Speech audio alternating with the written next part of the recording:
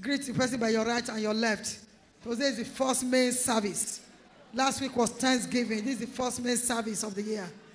Let's salute each other. Let's greet each other. Let's welcome each other. Them, where did you go during Christmas? How was your Christmas celebration? Were you in Nigeria or in Canada? Or in London? A time is going to come. Christmas time, when we break like this, sister, where are you going? Say, me, I'm going to Dubai. Me, I'm going to America. Me, I'm going to London. I'm going to Japan. I'm going to China. I'm going to South Africa. So shall it be in the name of Jesus Christ. If you know I'm talking to you, your amen will show it. The Lord bless you. Amen. The theme for this anointing service, like we know, is a supernatural triumph. Usually, the theme of the year is handled in the first month of the year so that we can pray it in. Let it sink in, teach on it, pray with it, and then begin to war with it as we go along. It is a year of supernatural triumph. Whether the devil likes it or not, there's somebody who will be triumphant this year. It will come to pass in your life. Amen. But today, we will be talking about triumphing in evangelism. Triumphing in uh, what? How many of us are taking time to look at the prophecy for the year? How many of us? The rest of us, uncle, we don't pass them. We jump past. We jump. May the blessings not jump past you too. Are, these are prophecies given to you. Don't you mean of prophecies? It's like I should teach on this prophecy one of these days. Prophecy is the mind of God concerning you for a period of time or for, or for or forever, whatever. It's the mind of God. It's like me coming to you and say, this and this and this and this and what I will do for you this year, and then you forget. You are not asking me. You are not relating with me about it. You are not talking to me about it. Me too. If you forget, what about me? I will forget. It is for you to, for us to go back. Compa- I mean, these prophecies are compasses to direct our ways this year. Sometimes it is in the prophecy, the key that will open the door of greatness to you this year is hidden there. It's for you to locate and say, this one, this and this and this and this and this. I walk okay, this and this, and what I, want, I will begin to do to achieve this. Go back and read them all. Oh. Start studying them, not just read, study them. The Lord will help us in Jesus' name. Praise the Lord. But before we go into triumphing in evangelism, we want to look at what does it mean to triumph. Our text is taken, let me just read our text first. It's taken from Second Corinthians chapter 2, 14 to 17.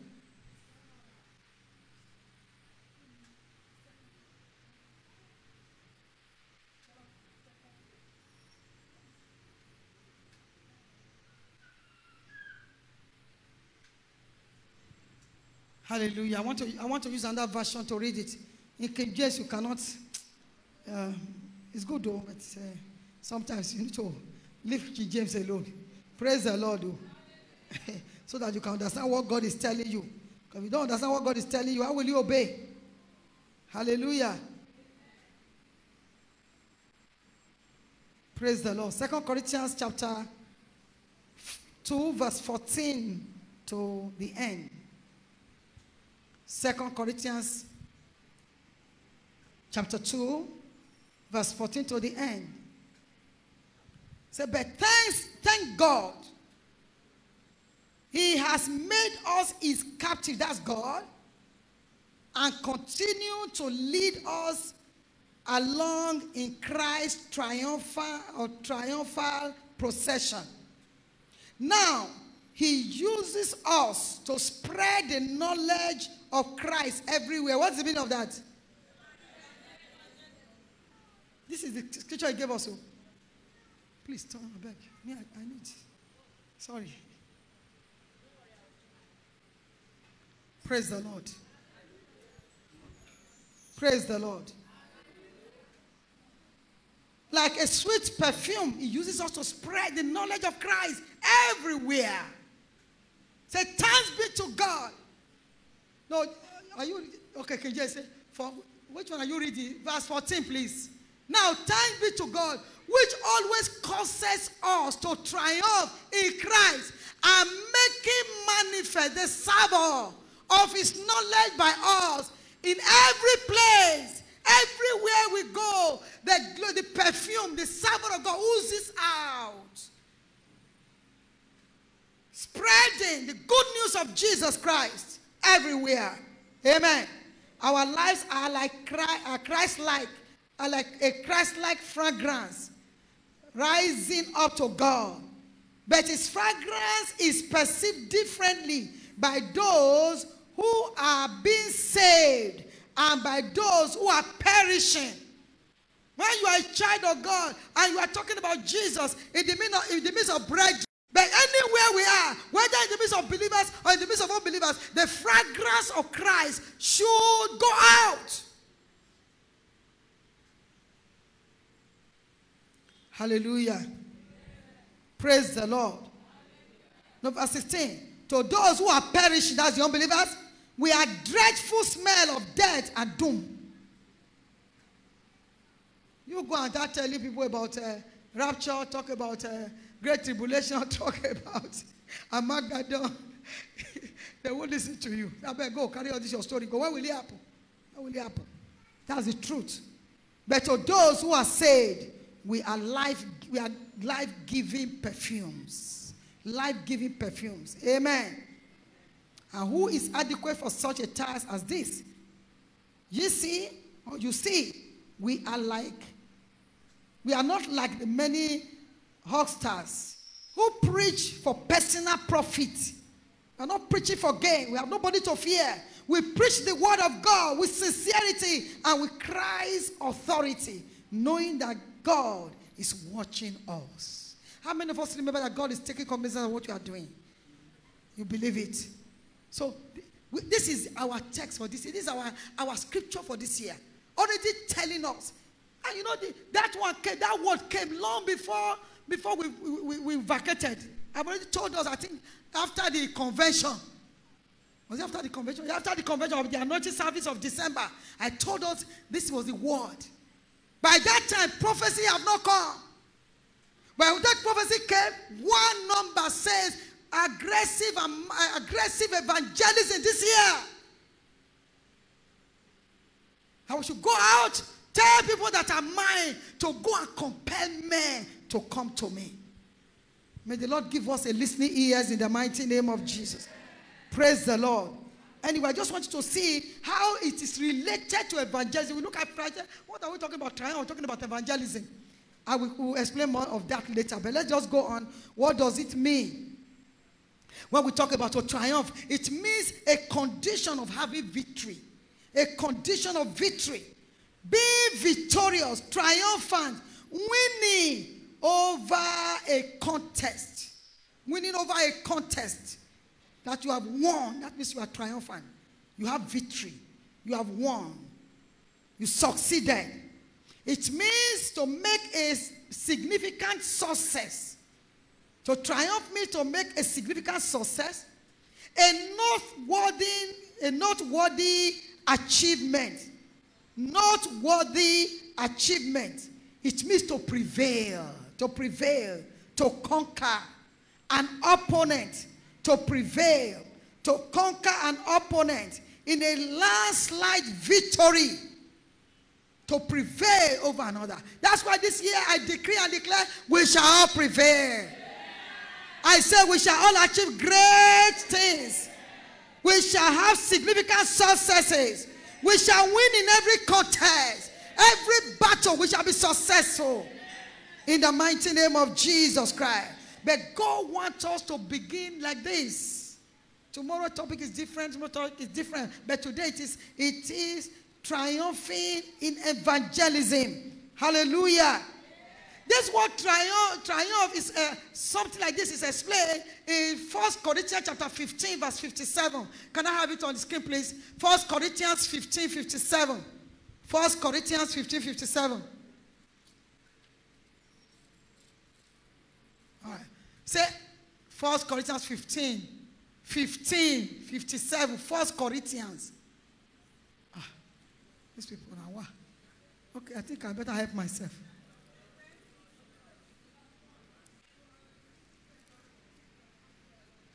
Fifty-seven says, okay, let me read fifty-five to fifty-seven. Say, "Oh death, where is thy sting?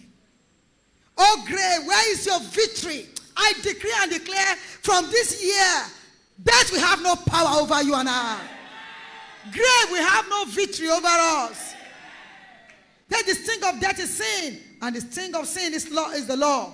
But thanks be to God, which giveth us the victory through our Lord Jesus Christ. In other words, thanks be to God that gives us the triumph through our Lord Jesus Christ. Praise the Lord. You know that what I'm trying to say, why did I bring this passage? There are things that will lose their potency this year concerning you and I. For example, death. For example, sickness. For example, evil arrow. For example, affliction. For example, failure, deceit, poverty, wretchedness, negativity, hard luck, struggling, toiling. They will lose their power. Why? Jesus is he that caused us to do what? To triumph. Praise the Lord. Brethren, soul winning. Hmm. It's very, very important we understand that soul winning is, the, is one of the off, uh, foremost way we can demonstrate victory over Satan. Soul winning is one of the foremost way victory over darkness can be demonstrated. You ask me how? You ask me how? Just by me preaching the gospel to somebody, we have seen Babalawo turn to Jesus. Suddenly just take a U-turn say, I not, I not do again. Recently, I it was uh, one of the videos they posted, I did this Christmas time. Of somebody who was always running to Babalawo, running to Babalawo, running to Babalawo. And uh, the, the person was not trying to kill an evangelist in the town. Was trying to kill, use power of that Babalawo to kill that evangelist. Go to Babalawo to ask for power that will kill that evangelist. He's always disturbing him, disturbing him. And then one day the evangelist was going about his normal duty and preaching the gospel. And he came across Babalawo and preached the gospel of Jesus Christ to Babalawo and told Babalawo how useless his power was. And the Babalawo surrendered to Jesus. Amen. Only for the man. he had a counter with the evangelist. He threatened the evangelist. Go and live, go and sleep. You can't do nothing. I, I, it's me that will deal with you. If you're not, not careful, you will die. This and that. So he ran to Babalawo's house and met evangelist there. And Babalawo kneeling down before the evangelist for prayer. I see those who are run after your destiny. I see them bowing before you. I said, Babalawo, what are you doing with this man? Ah, no, I've given my life to Jesus. So I beg, carry your own wahala go somewhere and not do again. Amen. Praise the Lord. Praise the Lord. So evangelism is one of the greatest way you can demonstrate the power of God, the power of the gospel. I'm robber, turn it to Jesus. Terrible people, people that you thought killers, turn it to Jesus. Which other power can do that one? This year, do you know it takes power to conquer? Do you know it takes power to conquer? I'm talking to you. It takes power to triumph. Praise the Lord. I don't know what where this hair is coming from. It's stopping me. Praise the Lord, Ujiri. It takes power to triumph. And if you want to experience power this year, I am showing you the way. The fastest way to have access to power is through evangelism. There are scriptures we quote in the Bible. Let's look at main scriptures first. Let's look at the main scriptures first.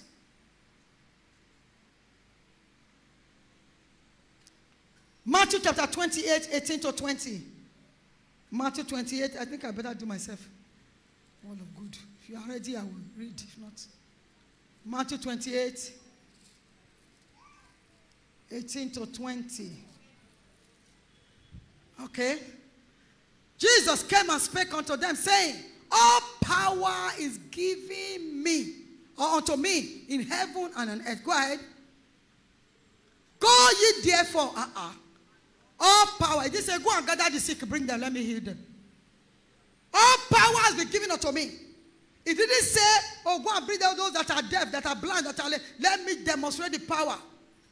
Yes, of course, he, you know, you know, he went about doing healing. But he's making a very profound statement. All power has been given unto me. And the first thing he will ask you to do is to go, go and do what? Preach. Go and preach the gospel. Go ye therefore and teach all nations, baptizing them in the name of the Father and of the Son and of the Holy Spirit. Go ahead, teaching them to observe all things whatsoever I have commanded you. And lo, I am with you always, even to the end of the world. Praise the Lord. Praise the Lord.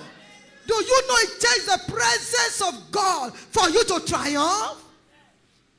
The reason I prayed, uh, uh, uh, what they call it, this morning, Good Morning Jesus, I, I had time, so I prepared Good Morning Jesus. I was talking about how eh, the children of Israel had a landslide victory over five kings. Over five kings. Five or four kings got, got together with all the army to come and fight against the little Israel. And God from heaven was fighting their battles for them. Why? God was in their midst. If God is with you, you can never fail this year. If God is with you, you will not fail this year. And one of the places God says, Lo, I am with you, is where? in evangelism. Am I talking to somebody? Praise the Lord. Mark chapter 16. Mark chapter 16. From verse 15. Mark 16, 15 says, And he said unto them, Go ye into all the world and preach the gospel to every creature. He that believeth and is baptized shall be saved but he that believeth not shall be damned. And these signs, this is what we are all looking for. Signs, miracles, signs, wonders, healing, deliverance, provision. He said, These signs shall follow them that believe. Hallelujah. Praise the Lord. I just see here. I said, Praise the Lord. Better. He said, In my name, they shall cast out devils. Every demon tormenting your life and land, by the name of Jesus Christ, I command them out of your life. In the name of Jesus Christ. They shall speak with new tongues. They shall take up serpents. They did as he said. Listen, verse 20. They went forth and preached everywhere. The Lord don't do what? Walking with them and confirming the word with what? Signs following. Walking with them. This year, if you really want to see triumph, number one, you must have access to power. You want to triumph this year? You must have access to power. Number two, the Lord must, you must walk in the presence of God. God must walk with you this year. He said to Moses, Go to Egypt, go and set my people free. Moses said, You know, I'm a stammerer. He said, I will go with you. Did he go with him or not? Was Moses able to deliver the people or not? His presence gave triumph. Everything Moses commanded came to pass because the presence of God was with him in Egypt. This year, we want to triumph. Let us take heed to what God is saying. Let's take heed to what God is saying. Let's listen. And we will not fail in the mighty name of Jesus. I say we will not fail in the mighty name of Jesus Christ. Praise the Lord. Amen. We quote some scriptures all the time. She quoted one of them. Acts chapter 1, verse 8. And ye shall receive power. After that, the Holy Ghost is come upon you. And then you shall be what? Today, a while, get us here. I command every power in the air disappear in the name of Jesus. Power holding response. Why is making people looking look at me and not res respond? I cast you out in the name of Jesus. Praise the Lord. Amen. Amen. Behold, I give unto you what? Power. Oh, sorry, no. Yeah, you shall receive power. After that, the Holy Ghost is come upon you. And you shall be witnesses. How come each time he mention power? The next thing that follows what? Witnessing. Preaching the gospel. You shall be witnesses to me. Both in Jerusalem, in Judea, Samaria, to the uttermost part of the earth. Why? Because evangelism or soul winning is the easiest way to demonstrate the power of God. That is where you see God's power raw. That's where you see manifestation. You wonder, what have I told these people now? Like there was an, there's an evangelism we went for, I can't forget it. We went to my former church side, uh, Maji Agbe side. People were not too many outside out there we could talk to. I can't remember who went with me that day. We saw some guys coming, about four or five of them. Young boys, I would say, ah.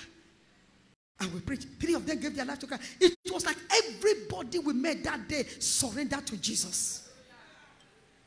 Brethren, the harvest truly is plenteous. The laborers are few. Bible says, say not ye, there are yet four months, and then cometh harvest. He says, but lift up your eyes and look into the field. They are white, all ready to harvest. There's power that goes forth when you are doing evangelism. And when you begin to do, when you are you concentrate and you really do evangelism, I can bet you you will begin to manifest power. Because when you are going, let's see what he told them. Luke chapter 10. Luke chapter 10. Let's see what Jesus told them. Is it 10 or 9 now? Whichever one.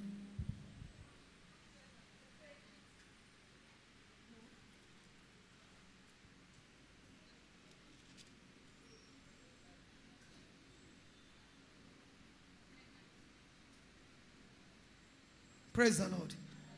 Luke chapter 9, verse, verse 1 and 2. Then he called the 12 disciples together and gave them power and what? Authority over what? Devils. And to cure diseases. He sent them to preach the, the kingdom of God and to do what? To heal the sick. In other words, each time is evangelist time, power go with you. He will send you out as sheep in the midst of wolves. Wolves will swallow us up. So each time it's time to go out, what does it do? He releases power.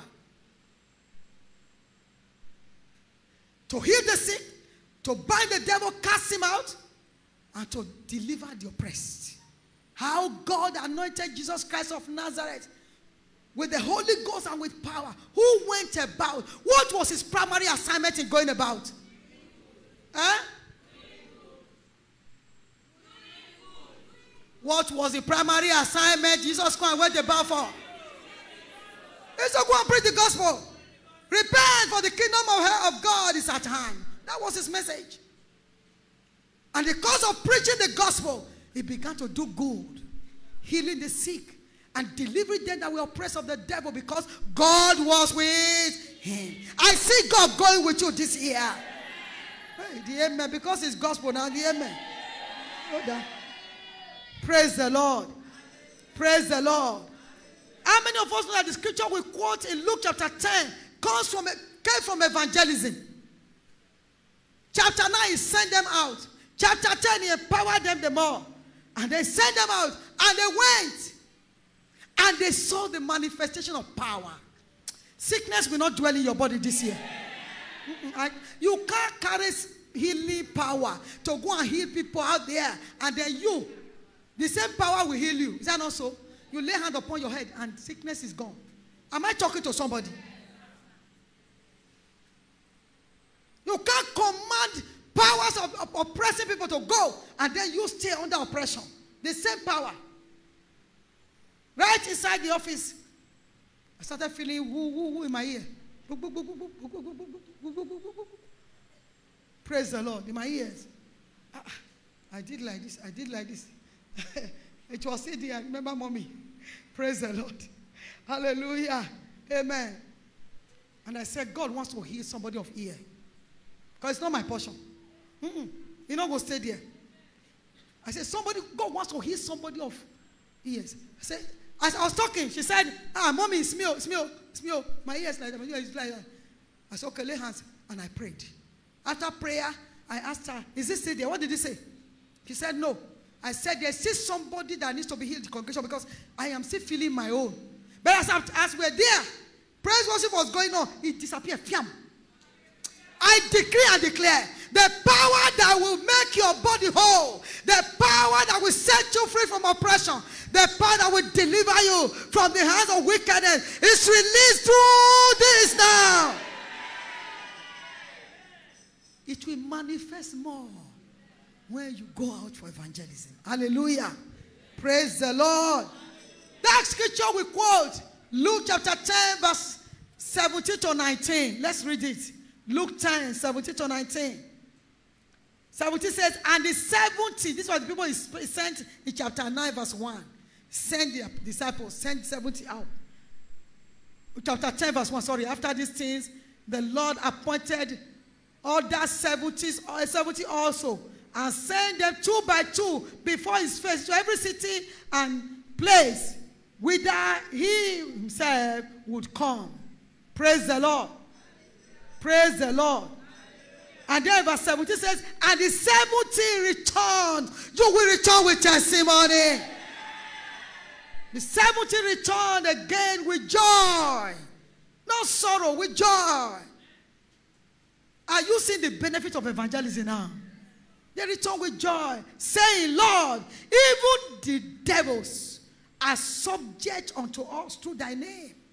We are, I saw, we are dealing with devils. Look at what Jesus Christ said, verse 18. And he said unto them, I beheld Satan as lightning fall from heaven. Hey, you want to subdue darkness this year? Take a step of faith and go for evangelism. I see Satan fall like lightning from heaven.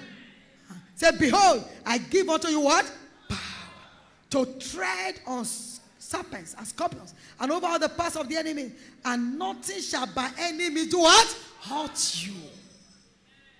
This scripture came by reason of people who obeyed the injunction of evangelism. Are you being tormented? Are you being afflicted? Are you being attacked? Are you facing one crisis or the other? Please, don't let that stop you. Go forth. Let's, let's go out and preach the gospel this year. Let's spend time preaching the gospel this year. I tell you, you won't know when those problems will vanish away. Ah, I can't hear your amen. You won't know when those problems will vanish away. In the mighty name of Jesus Christ. So the power we are being given is to heal, to save, to deliver, to get word, to, to, to, to, to set the oppressed, oppressed free. Power for anything. Nothing happens without power. That's the truth. Nothing happens without power. Change your circumstance, it needs power. It takes power to change circumstance. It takes power to get wealth. It takes power to get connection. It takes the anointing, the anointing to break yokes and take away the power of oppression. We need that power. And that power is available to us on the platform of evangelism. Shall we rise to our feet? Let's rise to our feet. As you go out for give yourself to evangelism this year, you begin to experience unprecedented supernatural power of God working naturally with you. In the mighty name of Jesus. Let's begin to talk to God and say, Father, say, Father, this year we are in for evangelism. This year we are making up our mind, oh God, to preach the gospel. Eh, I'm not saying we must come and go out together for evangelism. You can you can do it in your place of work. You can do it in your market environment. You can do it anywhere. If we create a platform, it's to help some of us who will never get up by yourself at home. It's to help us. Evangelism, you are going home right now, you can win two, three souls when you get to your house. It can be done anywhere at any time. Lift up your voice and say, Father. Say, Father. I connect your power for evangelism 2023. I connect your power to heal, to save, to deliver, to evangelism this year 2023. Open your mouth and pray that prayer.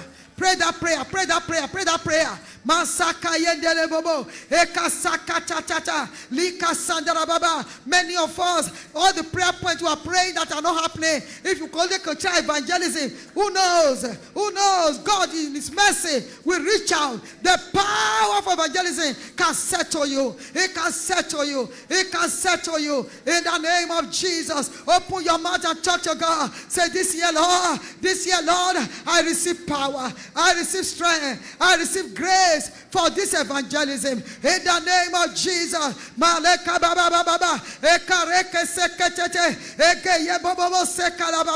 In the name of Jesus, we receive power. We receive power. We receive power. In the name of Jesus. Thank you, Father. In Jesus' name we pray.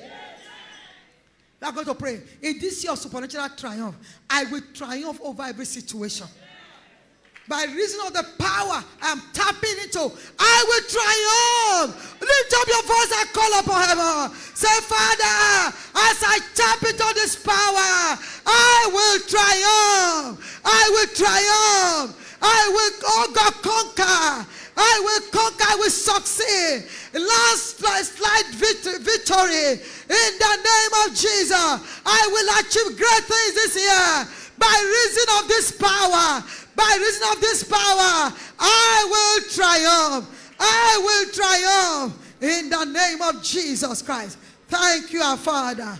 In Jesus' mighty name, we are praying. Evangelism is the most fought, fought the devil will fight evangelism. The most fought assignment of heaven. Yes, he fights against healing, fights against deliverance, fights, but evangelism. Why? Who can tell us? Evangelism relocates people from hell to heaven. Simple. He will fight it. He can fight with the people. He can fight you with the people you want to deliver. Tell people we don't have time for all this kind of story, sorry. And I don't start. I don't get work. Come to come and disturb us this afternoon. Meanwhile, now then you want deli- now then you are, you are praying for deliverance for. He can fight you. He can use your own situations around you to tie you down.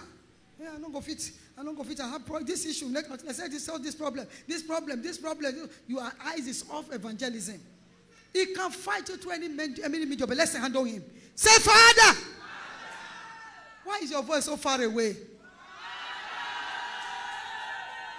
Bill, I say we took chop rice this holiday. you know when you eat too much oil, fry, fry, fry meat, fry chicken, fry this, fry that. They are fed voice.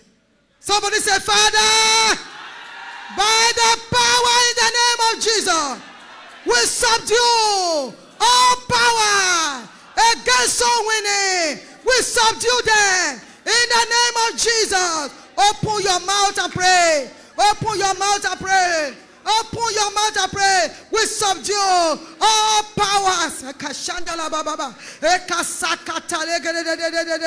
We subdue all powers. We subdue all powers. We subdue all powers. Fighting against soul winning. Fighting against evangelism. We subdue them in the name of Jesus. We subdue them in the name of Jesus. We subdue them in the name of Jesus Christ. Thank you, our Father. In Jesus' mighty name we pray.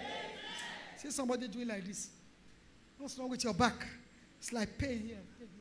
Who is that person? Put your hand there. Thank you, Jesus. I cause those pains. I cause those pains.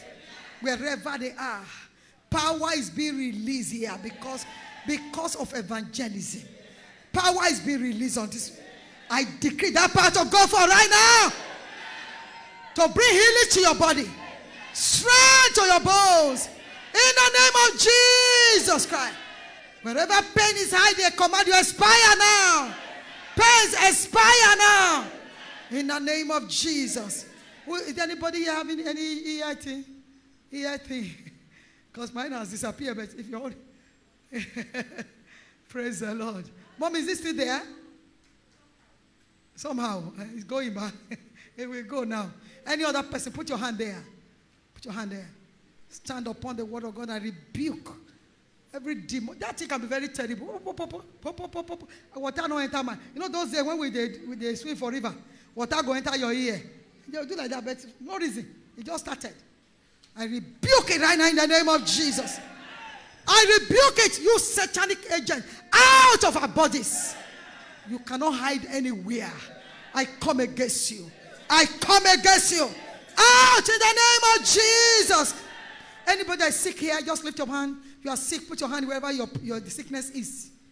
The time has come. I told God this year, every service will be a revival of healing. That a time will come, we say, if anybody is sick here, I say, nobody. Nobody. It will happen. If you are sick, put your hand there.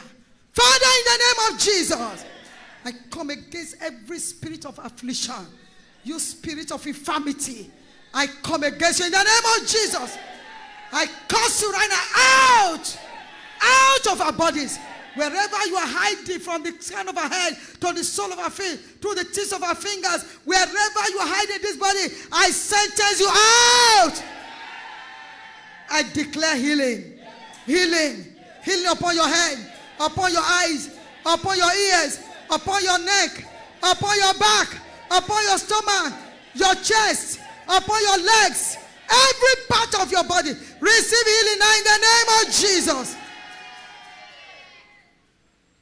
You are healed.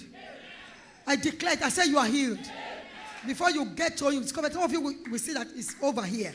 But before you get home, nobody will not feel anything anymore. In the mighty name of Jesus. Father, we thank you. Daddy, we bless your holy name. We give you all the praise and glory. Thank you, Father. Lift up your hands to receive the power for evangelism now.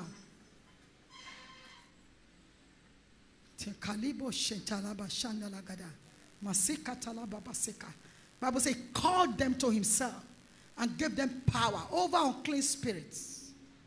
He gave them power over unclean spirits.